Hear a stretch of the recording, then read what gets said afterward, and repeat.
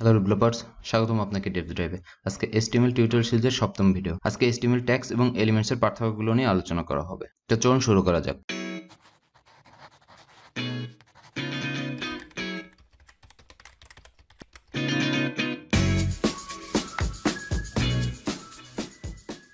প্রথমে আমরা একটি নিউ ফোল্ডার তৈরি করি।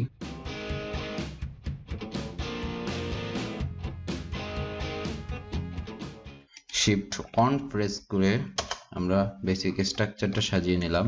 এবার এখানে HTML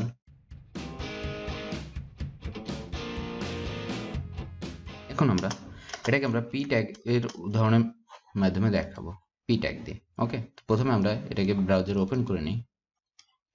তো এটা হচ্ছে আমাদের ব্রাউজার ফুল সাইজ ওকে পাশাপাশি নিয়ে নিই। তো এবার আমরা এটাকে পি ট্যাগের মাধ্যমে দেখাবো। তো ধরুন একটি পি ট্যাগ নিলাম। এখন এটা হচ্ছে একটি ট্যাগ কারণ হচ্ছে এর এই, এটা হচ্ছে একটি পি অর্থাৎ প্যারাগ্রাফ ট্যাগ যার হচ্ছে স্টার ট্যাগ হচ্ছে এটা এবং এন ট্যাগ হচ্ছে এটা। দুটা মিলে হচ্ছে একটি প্যারাগ্রাফ ট্যাগ আচ্ছা এবার এটা যদি ভিতরে আমি কিছু লিখি দিস ইজ কন্টেন্ট লিখি কন্টেন্ট এখন এটা হয়ে যাবে হচ্ছে একটি প্যারাগ্রাফ এলিমেন্ট, অর্থাৎ এলিমেন্ট একটি। কীভাবে?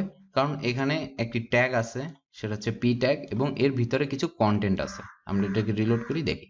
এই যে, এর ভিতরে কিছু কন্টেন্ট আছে। কিন্তু আর এই যে পি ট্যাগ, এটা শুধু একটা পি ট্যাগ। এটার ভিতরে কিছু নেই, এবং আমরা এখানে দেখতে পাচ্ছি না। ইন্সপেক্ট করে আমরা দেখতে পারব, যাই হোক।